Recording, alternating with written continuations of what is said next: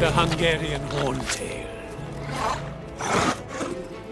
These represent four very real dragons, each of which has been given a golden egg to protect. Your objective is simple collect the egg.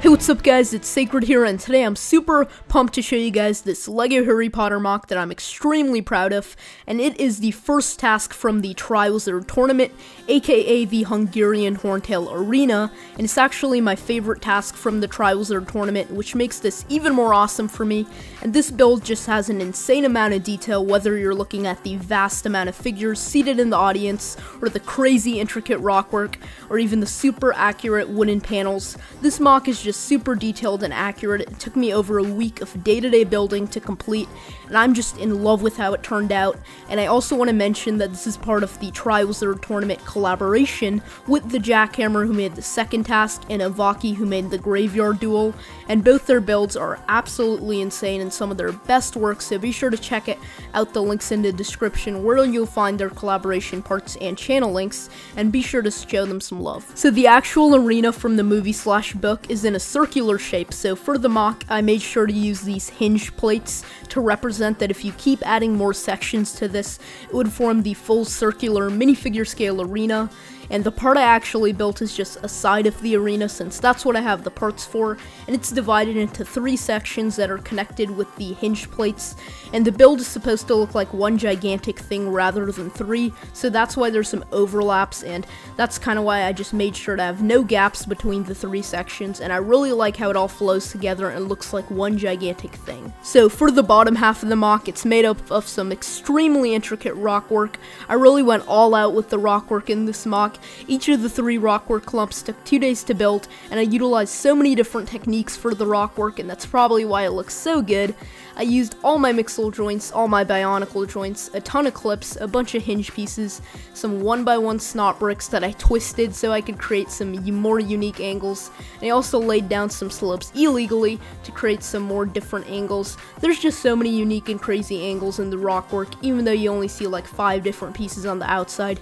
The inner works to achieve the angles are just so complex. If you want to know how to make some really awesome rock work, check out the video on the top right hand corner where I teach you guys. And I mainly used dark gray for the rock work, but I also added some olive green to represent the grass and mosses growing throughout the rocks. I've never used olive green in the past since I've had like five olive green parts, but since I got sick of sand green and I didn't want to use it for this MOC, I decided to snip off some olive green parts from Ninjago City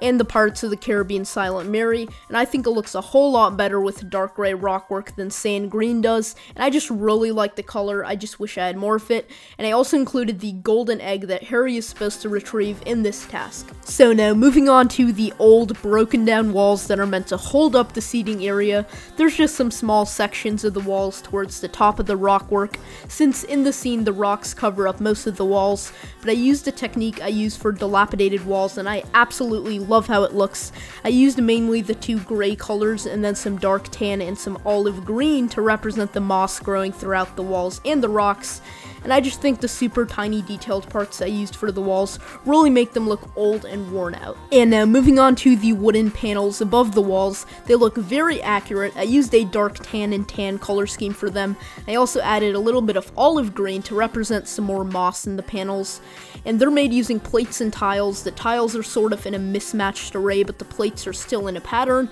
and overall I love the effect that they give off. And moving on to the seating area above the wooden panels, they are flooded with a ton of Harry Potter figures. I didn't have enough since I needed close to 50 for this build, so I included some Lord of the Rings slash The Hobbit ones, and also some Pirates of the Caribbean figures, which look somewhat similar to the Harry Potter ones, so I think they flow well together, and that's why my boy Baldy's in the crowd. And the seating area also features these brown divider sort of things, and that's accurate to the movie, and I just think the figures in the audience really complete the build and make it pop more since all the figures' torsos have a bunch of different colors and One of the things you probably noticed right off the thumbnail is the Hungarian horntail. I slightly modified the one from the LEGO set to make it more accurate, and it's just soaring down to protect the golden egg from Harry, and speaking of Harry, he is on his broom. I used the accurate variant of Harry Potter and connected him to the wooden panels via some transparent studs that I stacked up, and yeah, that's pretty much it for this MOC and the video. Thank you all so much for watching, I really appreciate it, it means so much.